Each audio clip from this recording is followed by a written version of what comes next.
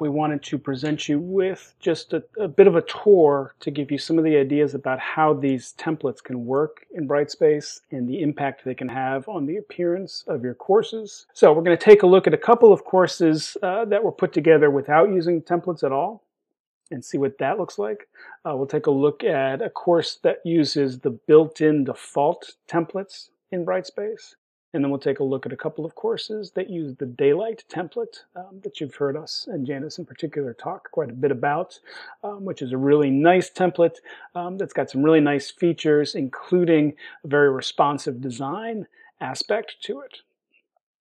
All right, so let's go ahead and get things started here. Uh, we're first going to take a look at uh, Elizabeth Hammer's um, health psychology class, um, and she put this together without using the templates, right? So you can see she's got a unit-based structure. Now she does use, you know, a little bit of visual elements, right? She's got she's got a, a banner image for each module, which is nice. Kind of gives the students a quick clue on where they're at and even a little bit of a sense of kind of what's going on for that unit. But you can see what here in each of these modules, she's just incorporated the various assignments and quizzes and linked to those other pieces of Brightspace. But she's also given the students a little bit of a description here as well. So here's reading guide one, and here's what they're supposed to be doing in it. Here's some more information about the reading guides. Works pretty well, right? It's pretty clean presentation, right? The students can take a look and see, okay, what am I working on for unit number four, diet and nutrition? And they can work through it. They can see the due dates. They can link right to those assignments, right? And it's probably the way a lot of folks uh, have set up their courses. It's definitely the way I set up my uh, graphic novel class um, in the past. Right? This is my graphic novel class from a couple of years ago when we were just really kind of getting used to Brightspace. Right? And I wasn't really even aware of, of how the templates worked or what, what options there were either. Right? So again, I just had a weekly structure, right, which got a little bit busy, right? Uh, it's a little too much, right, with all 16 of those. Um, and then within each module, I would just put the links to what the students needed access to for that week, right? Here's a link to quiz one, a little bit of information about quiz one. Here's a link to the video they need to watch and when they need to watch it. Here's a link to another video or quiz. And I would create, you know, these web pages. If I wanted them to read something, I would just say, read chapters one and two in the textbook. And if you click on that link, it goes to a blank page, right? Because I was just using it to really kind of put text in there. That was about the extent of how I was using these web pages and doc files in, in Brightspace. It works pretty well. It got a little bit busy in the middle of the semester and we had a lot of stuff going on. So let's take a look at the built-in template. This is what, uh, if you just start playing with this now in your course or in your sandbox, you're going to have access to. Many of you may be familiar with this already if you went through the Brightspace training course with Carrie this summer. And again, Carrie had it set up on this kind of weekly modular basis. So you could come to the module for the week. Again, he took advantage of the banner image. He also kind of provided the, the an outline for the week as well, which I think is a nice approach. But down here, instead of just having links to different pieces of Brightspace, right? And click here to take a look at this document or click here to open up this quiz or submit this assignment, right? He's got what you can see just are web pages, right? Um, but they're clearly labeled. So we're going to start with the first one, objectives. And you can see here, now he's presented those objectives to us. Right? Um, but the difference between what he's doing here and say what Elizabeth and I were doing in our older classes is that he's, he's isolating it, right? And he's just right now presenting us with those objectives and there's nothing else going on for us to look at or, or be distracted by. At the same time, he's got slightly more visual appeal here. It's not just black and white text, right? He's got headers, he's got different fonts, he's got some color as well. And again, this is the default built-in template that comes with Brightspace. So it's good. It's not the greatest design in the world, right? It's pretty straightforward, right? Um, it's fairly dark kind of design as well in terms of the background colors, kind of dark, dark uh, brownish gray with, with blue text?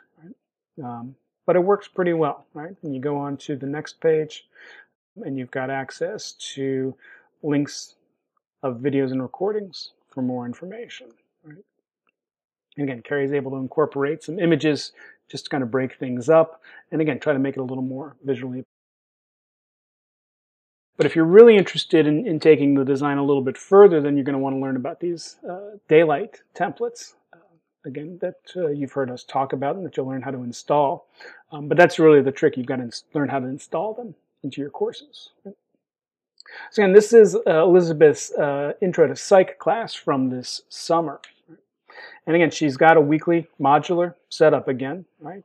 For each of those modules, she's got just this background image, uh, header image, which is nice also.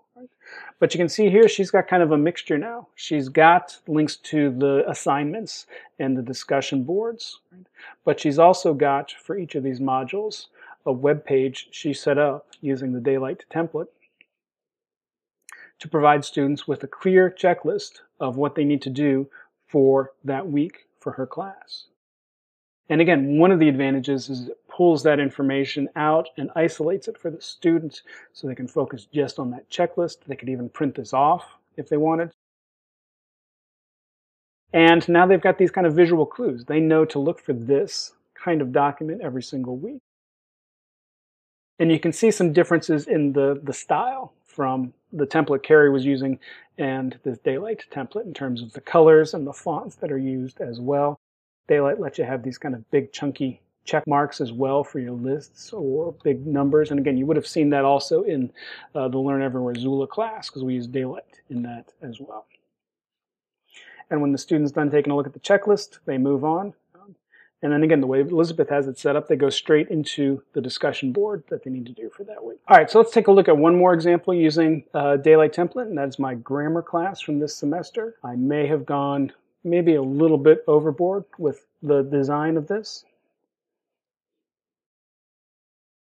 You can see here I've got it set up using you know, the tenets of, of Learn Everywhere XULA, right, with that quick start guide, right, um, information I wanted the students to have before the first day of class, where they could get that information, how they could get around the course, things like that. And you can see I've got a pretty clear kind of visual theme going on, right? It's a, it's a heavily gamified class? Um, and so I've just got kind of game gaming imagery uh, running throughout the class here as well. But beyond to this kind of beginning information, I've got my weekly modules, but instead of having a separate content module for each week, which, like I said, I found to get a little cluttered, I've just got one section. Um, I called it Order of Play, just again to go with that, that gaming theme. And then I've got one web page set up for each week of the semester here. And so students could come here for the first week classes, right, before the first day of class, and they could see what are we going to be learning about. Here's a little introductory paragraph, and then they get down to the next part and they see, okay, here are the learning objectives for the week. And then they get down here and they have the outline for the week as well. Here's what you need to do before the first day of class. Here's what you need for class on Tuesday. Here's what you need to do for homework here's what you need for class on Thursday, and here's what you need to do after class on Thursday. And I followed that exact pattern uh, for each of the for each of the pages uh, for this semester. So here's the first real kind of unit page, delving into phrases. There's the learning objectives, right? And again, there's the outline for this week. Right? And again, you can see some of the stylistic options that Daylight gives you that their default, the default Brightspace template doesn't give you. And I've also played with it a little bit, right? Because I've got experience using HTML and style sheets and things like that. So I tweaked some of the colors, I changed some of the fonts. Again, you can you can do all that stuff if you're comfortable doing it, or you can just work with uh, the template out of the box. Uh, either works. Whatever makes you comfortable, whatever you like.